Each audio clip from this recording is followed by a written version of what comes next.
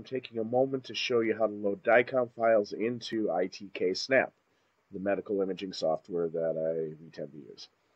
So you go up to File, Main Image.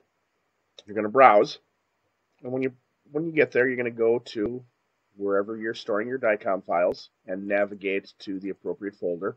Oftentimes they're buried. I will, and oftentimes they're in multiple folders.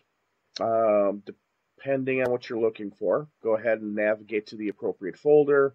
Select the file at the top of the list, say open. Go ahead and push next. Oftentimes you'll get a list. Typically, what I'm looking for is going to be the list with the larger number of images, so I'll go ahead and I'll select that. I'll say next, and I'll finish. And at that point, we have loaded a set of DICOM files for viewing into ITK Snap, which can now be manipulated.